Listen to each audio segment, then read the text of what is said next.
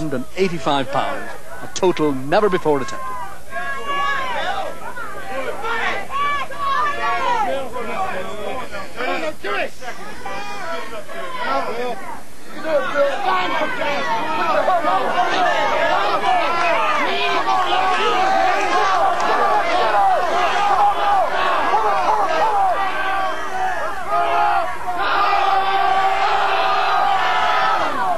Well, even the strong